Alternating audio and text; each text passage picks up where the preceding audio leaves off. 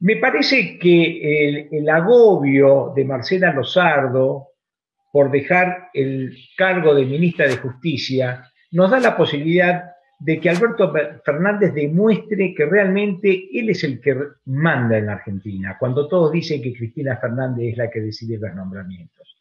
Porque si fuera así, Carlos, ya habría nombre y apellido en el reemplazo de Marcela Lozardo. No lo sabemos porque también Alberto Fernández opina. Y esto es clarísimo, porque si no, ya tendríamos un ministro de Justicia nuevo. No sé qué opinamos. Es un notición. Es un notición. Alberto Fernández ejerce algo de poder en la Argentina. Eh, me parece que, eh, a ver, en términos matemáticos dirías que lo demostraste por el absurdo.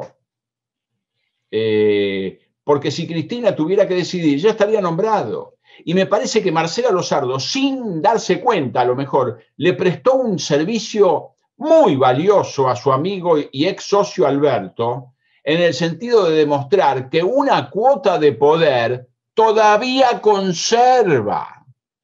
Es más, ahora que decís esto, me parece que fue una jugada de los dos ah. para mostrarle al pueblo que ella no, no quería irse, pero dice, así que te vas para que yo muestre que yo también decido en el nombramiento de un cargo tan importante para Cristina. Me parece excelente la jugada, si ah, fue una, jugada, una jugada. maestra, ¿eh? Maestra, maestra. La verdad que todos se tienen que callar la boca ahora cuando dicen que Alberto Fernández no tiene su cuota de poder.